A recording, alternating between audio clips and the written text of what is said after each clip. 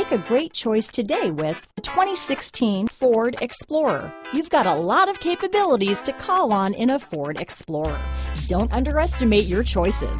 This vehicle has less than 45,000 miles. Here are some of this vehicle's great options.